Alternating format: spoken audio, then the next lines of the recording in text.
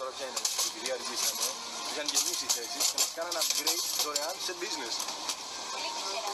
Τώρα τελικά ποιος είχε δίκιο. Ε, Μήπως καλά κάναμε και εγώ αργήσαμε, θα- μήπως ήταν όλα μέρος του σχεδίου μου για να κάτσουμε σε business. Σε προλάβαμε. Πρέπει εσεί να ξέρετε ότι τα πράγματά σας πρέπει να τα φτιάχνετε την προηγούμενη μέρα. Ε, Έτσι ακριβώς, όπως έκανα εγώ και όχι εσύ.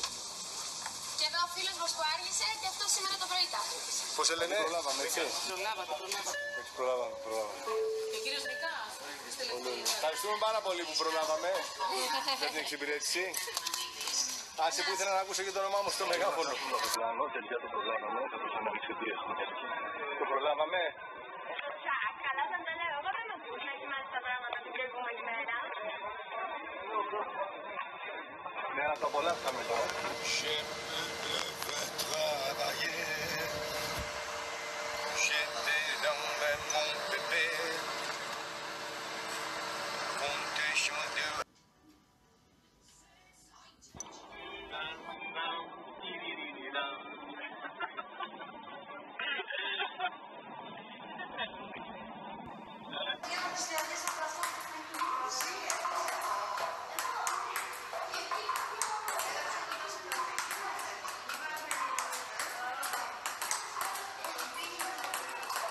That's it.